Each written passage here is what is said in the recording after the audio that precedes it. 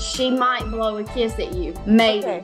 We'll try. Say hi. My name is Laura Digh. I'm a registered nurse. I worked with Atlas prior in a traveling assignment. Um, I've been a cardiac step down unit nurse for four years prior to becoming a recruiter. And yep, that's me in a nutshell. So, growing up, I had a sister. Her name was Jacqueline. We were six years apart, um, you know, super close. Graduated nursing school in 2017. Um, she was obviously there by my side every step of the way. She went to college and, um, you know, she was just on her way back home from college and she was hit by a car and um, she was immediately taken to the hospital. Um, I had, it's actually pretty crazy. I had a friend that I went to nursing school with. I remember that she had worked at CMC Main and I called her and I said, Aisha, I said, can you please go to work and see if my sister is there? And she said, yes. Apparently, my sister was in the OR, they were doing surgery. And I remember like Aisha telling me like, she's gonna be okay, she's in surgery, right? Well, we had that first meeting with the physician and you know they said that chances were not very good that my sister was going to make it. She had sustained pretty significant injuries and i just remember the healthcare provider she was a resident.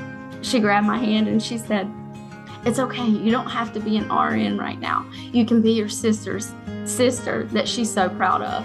And that is when like i was really taken back my mother was having a really hard time of kind of like letting go of my sister and like what was going on and you know me having that medical background i understood what was going on it sucked and i hated it and i wish there was another way but there wasn't and so it was really just time for my mom to kind of like say goodbye. But in the midst of all of that, they did a little wedding for my husband and I.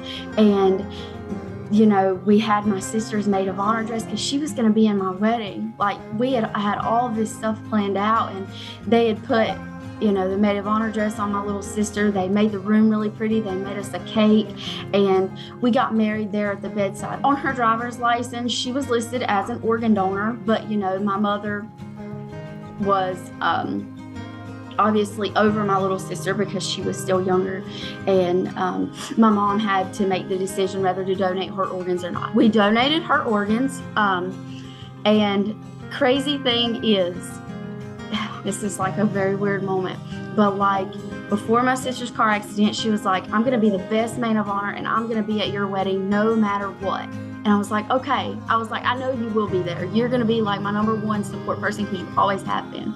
Well, um, after her accident and after we donated her organs, I actually found James, the gentleman that got her heart, six months after he was like her heart was implanted into him. And then the same with the kidney. We found the kidney in September, which was my birthday month.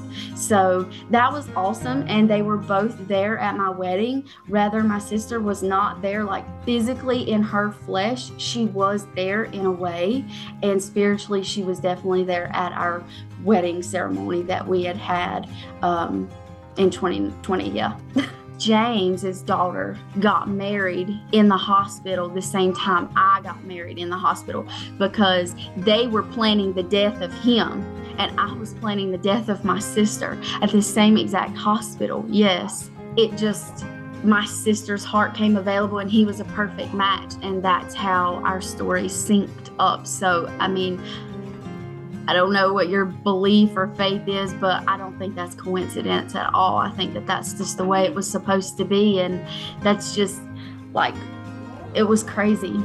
I'm glad I was there, but two, I'm more thankful for my friend Aisha. Like, I couldn't thank her enough because she stayed there with my sister until we got there. You know, we live an hour from Charlotte. And then on day three, she said, Since you guys are doing the apnea test, she said, If you need me to stay, I will stay. She said, But this test is hard to watch. If you want me to stay in the room, I will. And she stayed with my mom right by her side. And then she left.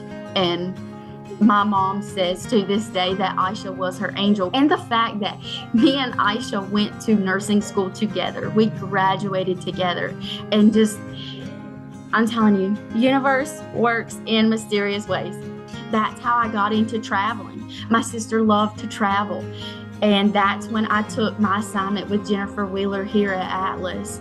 And I loved it. And then I had my assignment, got super, super sick, found out I was pregnant with Janie, and I had to cancel my assignment. And then, you know, I had to stay at home, working from home. That's when I found recruiting through Jennifer. And I'm very grateful for this job and to be able to work for Atlas and be a part of Atlas because I truly feel that we value family and, you know, just that time First off, I just want to thank Aisha Godbold for being there for not only me, but for my mother in that hard time. Without you, like I couldn't have made it through nursing school and then losing the death, you know, losing my little sister.